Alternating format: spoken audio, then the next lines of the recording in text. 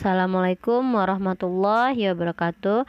Baik anak-anak Ustazah Hari ini Ustazah akan menjelaskan kepada Antum Bagaimana cara menjumlahkan pecahan biasa dengan pecahan desimal Nah baik. Untuk itu kita langsung saja masuk ke contoh soal yang pertama.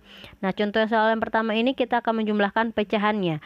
Ada pecahan 2 per 5 ditambah pecahan desimalnya kita buat 0,5 Nah hasilnya adalah Nah 2,2 per 5 itu kita salin saja kita tulis ya. 2 per 5 ditambah Nah 0,5 ini kita jadikan dia ke pecahan biasa Karena ada satu angka di belakang koma maka pecahan biasanya menjadi 5 per 10 Kenapa jadi 5 per 10?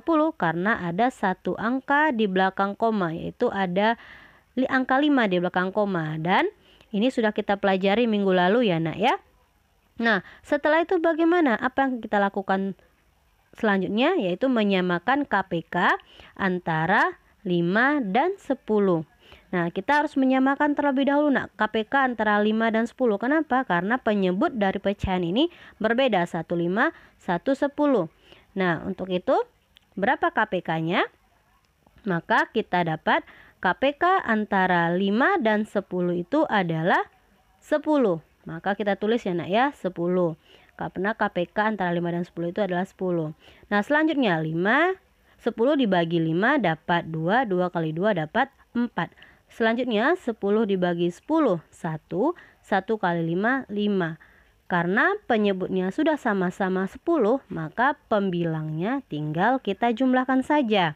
Nah ingat karena penyebutnya sudah sama-sama 10, pembilangnya kita jumlahkan maka dapat 4 tambah 5 9 menyebutnya 10 maka dapat hasilnya 9 per 10 lanjut kita contoh ke soal nomor 2 soal yang kedua kita buat pecahannya atau 3,2 ditambah dengan hmm, 1 3 per 4 nah 1 3 per 4 maka pecahan ini kita harus rubah 3 per 3,2 ini kita jadikan pecahan biasa.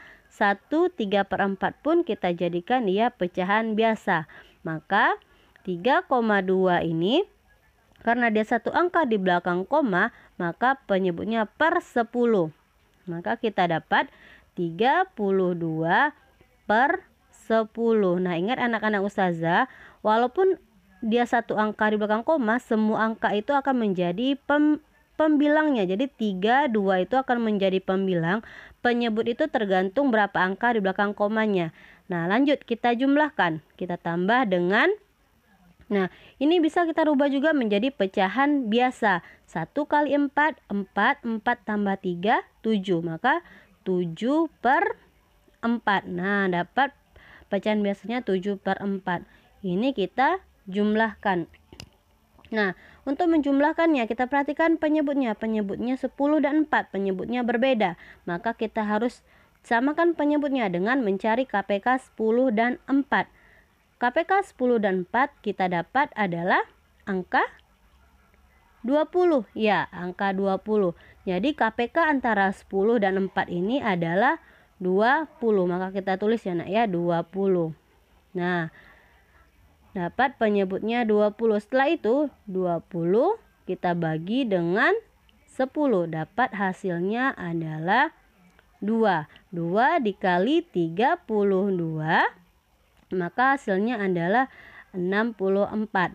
Selanjutnya 20 kita bagi 4. 20 bagi 4 dapat hasilnya 5. 5 kali 7 hasilnya adalah 35. Setelah ini karena penyebutnya sudah sama-sama 20, pembilangnya tinggal kita jumlahkan saja.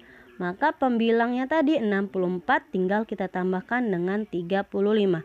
64 ditambah 35 hasilnya adalah Nah, hasil dari 64 ditambah 35 itu adalah 99. Maka kita tulis ya, Nak ya. 9 9. Nah, sebentar. 99. Nah, kita tulis 99. Penyebutnya adalah 20 maka kita jadikan tulis 20 nah kalau sudah begini karena atas lebih besar daripada yang di bawah nah angka yang di atas 99 yang di bawah 20 maka pecahan ini bisa kita rubah menjadi pecahan campuran. Pecahan campurannya berapa? Dapat 4 e, dikali 20 itu 80 nah 80 99 dikurang 80 maka dapat hasilnya adalah dapat hasilnya adalah se 19 maka dapat pecahan itu menjadi 4 19 per 20 Nah sehingga 3,2 ditambah 1 3 per 4 itu hasilnya adalah 4 19 per 20 Nah Demikian anak-anak ustazah yang ustazah jelaskan. Jika antum masih belum paham, boleh tanyakan langsung kepada ustazah. Afaminkum. Assalamualaikum warahmatullahi wabarakatuh.